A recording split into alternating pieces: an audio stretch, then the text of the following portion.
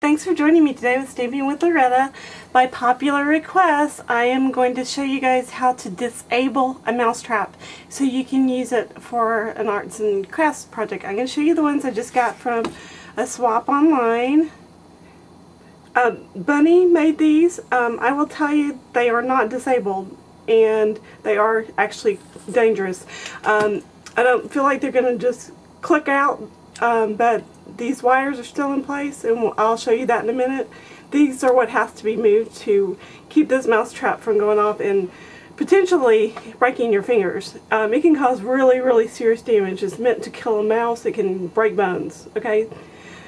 Alright, now, with that being said, it's kind of, ew. I, I'm not a big fan of mice, nor am I of snakes or any other critters. They belong outside, not in my house. Now, um, I do want to take just a minute and say thank you so much, everybody. Um, we did lose Lexi last week. Um, it was really hard to put her down. She was 11 and a half, but her health had gotten so bad, and she was having accidents all over her house, and it was very bittersweet, but to see her at complete peace, um, even during the administration of the euthanasia, um, it was it was very peaceful, and I miss her already, and the other dogs miss her, and uh, but we we thank you for your thoughts and your prayers, and if there's a puppy heaven, she's in it. Uh, we know that for sure. But um, okay, so today let's get into this mousetrap, and before I get into the mousetrap, here's the giveaway. Okay, I'm gonna give you a mousetrap that's decorated. What did I do with it? uh, a mousetrap that's decorated. Okay and a cigar box. There's going to be a $50 um, gift card to the big box store of your choice. And there'll be some other homemade goodies in your box. If you're in Canada, please note that I will ship them um, with a customs label. I am not going to pay the extra money to um, to track those packages. It's just too cost, you know, too much for me right this minute. So with that being said, um, leave comments below this video or on my blog, anywhere you want on my blog, and I will put your name in the hat and we will draw for the giveaway in about a week. So stay tuned for that and I'll draw right here on, online so that you guys can see it. So let's get started. We'll be back in a second. Okay, to start with, there's a few supplies you absolutely have to have to disable these mouse traps two pairs of pliers. Okay, this is because sometimes you need an extra set of hands and this is your going to be your extra set of hands. I'll see if I need them this time. I didn't last time I did this.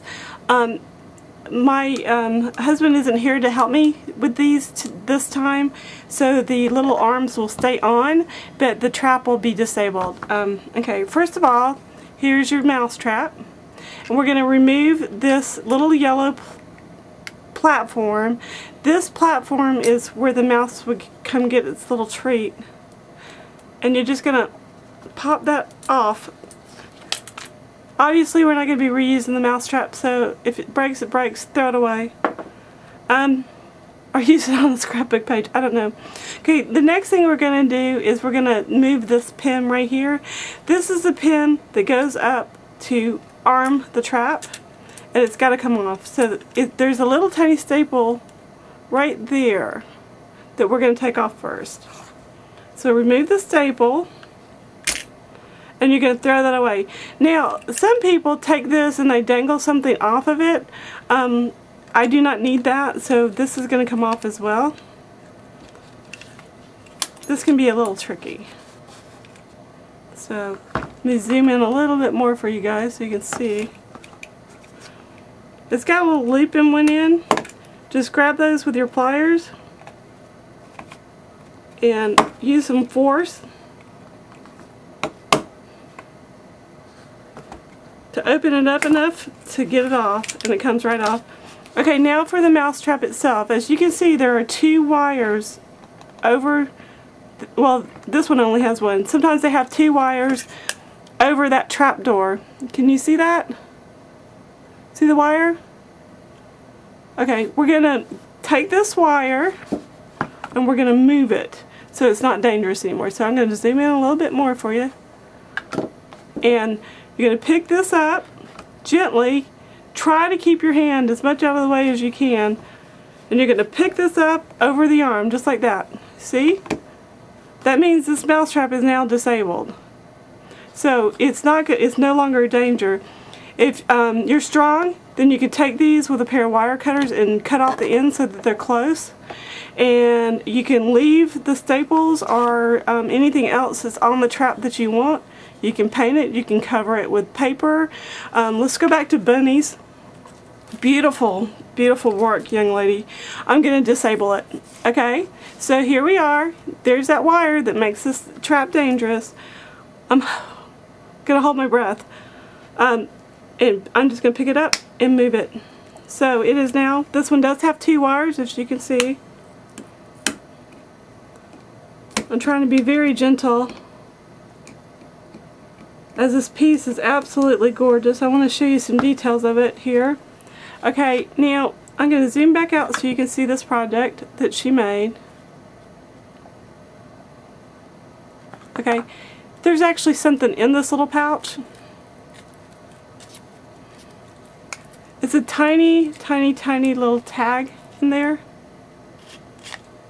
Isn't that cute? I mean, how tiny is this? It's gorgeous. All the details she put in here, I am amazed. It is just beautiful work. Um, I don't know that I'd have the patience to do something quite that tiny, but I want to give it a try. So here's her other mouse trap. Um, this actually, I think I it dropped off. That's okay. Um, this one also this folds out and this folds out and there's little goodies inside of here. And she she just decorated it. It's really it's just adorable. Okay so I'm gonna lay this one down on my desk and zoom back in. Hopefully I'm not making you guys too dizzy here.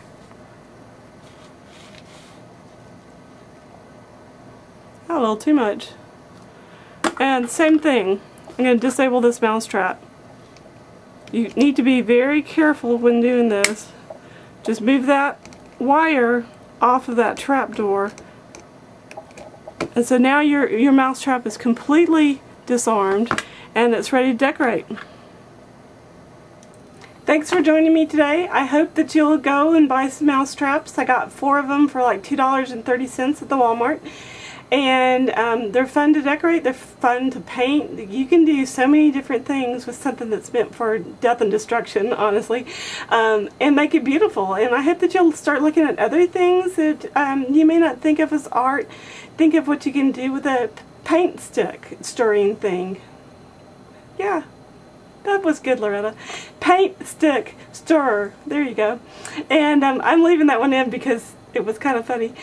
I I appreciate you guys' time. I hope you have a great day. Don't forget to rate, comment, subscribe, and enter for the drawing for the um, giveaway for my 500 subbies. Thank you so much, everyone who has subscribed and who follow my blog and my video. I appreciate it a whole bunch, and I look forward to having some more FaceTime with you and some more video tutorials. So stay happy and be a blessing. Above all, be a blessing.